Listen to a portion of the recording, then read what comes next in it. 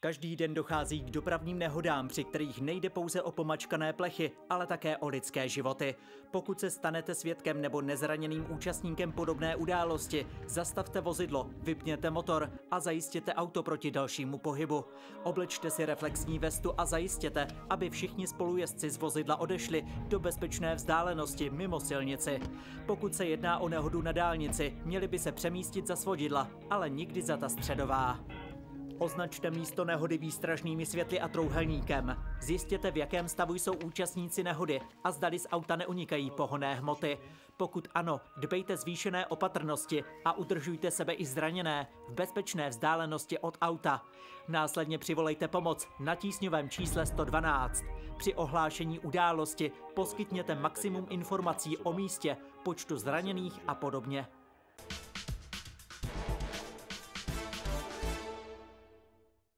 Pokud je to možné, zajistíte havarované vozidlo proti pohybu zatažením ruční brzdy. Vypněte zapalování, tím deaktivujete systém airbagů, který nemusel být nárazem vozidla aktivován a ve vozidle nám tvoří jisté nebezpečí. V případě dopravní nehody, kdy dojde ke zranění osob, je nutné zahájit poskytování první pomoci. Využíváme ochranné pomůcky, jako je reflexní vesta nebo gumové rukavice, které jsou součástí lékárničky.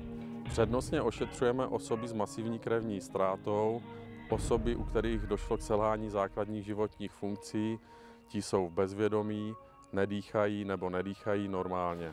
Tyto osoby je nutné co nejdříve s maximální šetrností z havarovaných vozidel vyprostit a zahájit neodkladnou resuscitaci. Je-li osoba v bezvědomí zaklíněná a nelze ji vyprostit, udržujeme průchodnost dýchacích cest eh, držením hlavy v ose páteře. Pokud zraněným osobám ve vozidle nehrozí žádné další nebezpečí, jako je výbuch nebo požár, je možné je ponechat ve vozidle a s vyproštěním vyčkat až do příjezdu odborné pomoci.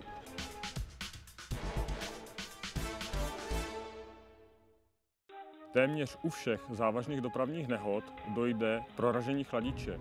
Unikající chladící kapalina se zahřátým motorem vytváří mlhu. Neznamená to, že dochází k hoření.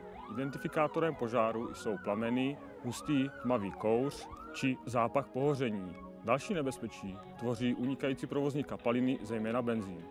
Pokud havarované vozidlo začne hořet, je nejdůležitější jeho posádku dostat mimo nebezpečný prostor. Požár ve vozidle se totiž šíří velmi rychle. Během dvou minut může být celé vozidlo v plamenech a osoba uvnitř nemá šanci na přežití. Proto se snažíme zraněné dostat mimo vozidlo co nejrychleji. Využijeme k tomu kolem jedoucí řidiče a ostatní účastníky silničního provozu. V posledních letech bylo několik případů v Olomouckém kraji, kdy kolem jedoucí řidič svou pohotovostí a odvahou zachránil osobu z hořícího vozidla. Pokud máte ve vozidle hasicí přístroj, nebojte se ho použít. Po příjezdu složek integrovaného záchranného systému předejte záchranářům informace o poskytnuté pomoci a spolupracujte s policisty, se kterými sepíšete svědeckou výpověď. Nikdy před došetřením nehody nekonzumujte alkoholické nápoje. Každý z účastníků nehody je na místě podroben dechové zkoušce a zkoušce na jiné návykové látky.